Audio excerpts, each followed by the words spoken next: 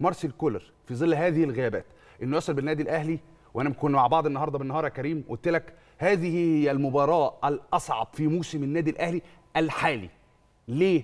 مش علشان مازيمبي هو أقوى من الزمالك وبيراميدز محليا ولا اقوى من سان داونز والترجي افريقيا. لا لأنه هذه هي اللحظة الأصعب في هذا الملعب في ملعب لومومباشي اللي النادي الأهلي بيحقق فيه رقم وبيكسر عقدة.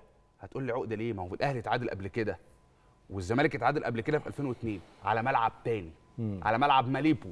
الملعب ده بملعب لومومباشي ده افتتح 2012 الأندية المصرية راحت 8 مرات.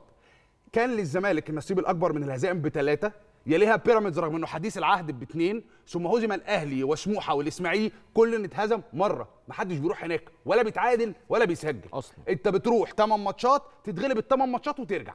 يعني الفرق المصرية على ملعب على ملعب مازيمبي في لومومباشي 8 0 مازيمبي 8 0 الأندية المصرية بما فيها هزيمة للنادي الأهلي نفسه. انه عموما في الملعب القديم والملعب الجديد مفيش فريق مصري خرج من الملعب. دوت بشباك نظيفة.